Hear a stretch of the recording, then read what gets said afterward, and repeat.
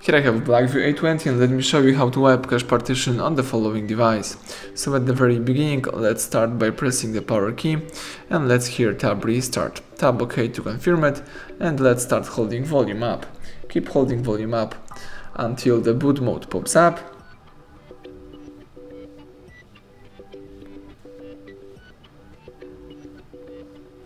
and now you may release volume up. So this is the boot mode. Here you can navigate by using volume up and confirm options by pressing volume down. So let's choose the recovery, let's press volume down to confirm it and let's wait a couple of seconds. As you can see the Android recovery mode just pops up in front of you, here you can navigate by using both volume keys and confirm options by pressing power key. Let's scroll down here to highlight the wipe cache partition and press power key to choose it.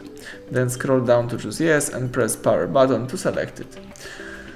So the device is whipping the cache files, the phone is formatting all temporary cache files and as you can see the Android recovery pops up again so now all you have to do is simply press power key to reboot system now.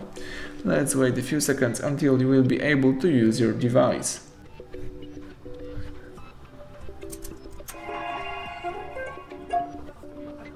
Excellent, so everything went well, thank you for watching, please subscribe our channel. And leave thumbs up under the video.